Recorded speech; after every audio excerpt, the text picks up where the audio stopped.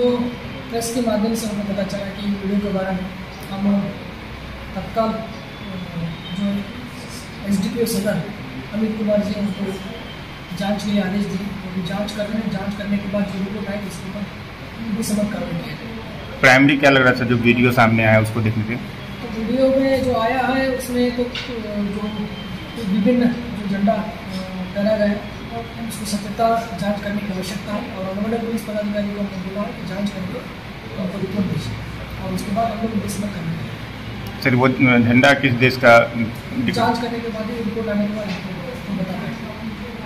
ये स्टेबल हो गया सर ये कहाँ का है वो? वीडियो किस जगह का है? पुलिस की जाँच में? जो अभी हमने जाँच दिया जैसा आपने वीडियो दिया उसके आधार पर हमने जाँच के आदेश दिए। जो डिटेल्स मेरे पास जाँच होगा जाँच के आधार पर जो उसकी रिपोर्ट आएगी रिपोर्ट आएगी उसके आधार हम लोग कार्रवाई